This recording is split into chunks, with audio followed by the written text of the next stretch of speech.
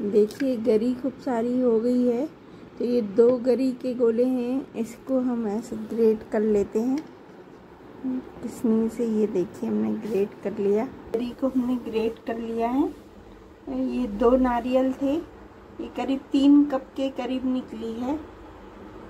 Fruits लिए हैं। आप इसमें किशमिश चिरौंजी, पिस्ता, जो आपको पसंद हो वो डाल सकते हैं। इसमें मैंने कुछ काजू लिए हैं और बादाम हैं और ये इलायची पाउडर।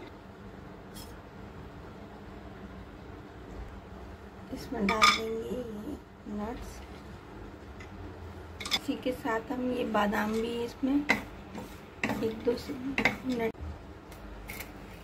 इसमें इसी कढ़ाई में डाल देंगे हम ये। हो जाएगा और थोड़ा टेस्ट भी अच्छा हो जाएगा।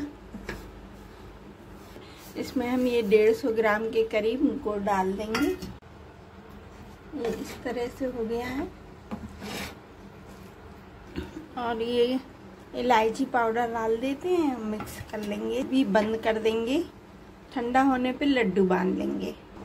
देखिए, ठंडा हो जाएगा। तो इस तरह से लड्डू बना लेंगे।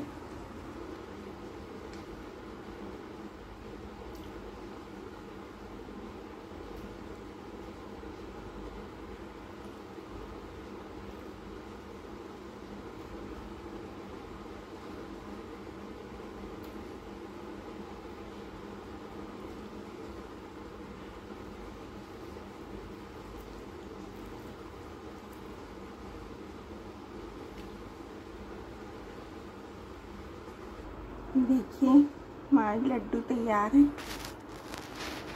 इतने सॉफ्ट बने हैं कि एक बार आप ज़रूर बनाइए, बिल्कुल मुँह में रखते ही घुल जाएँगे।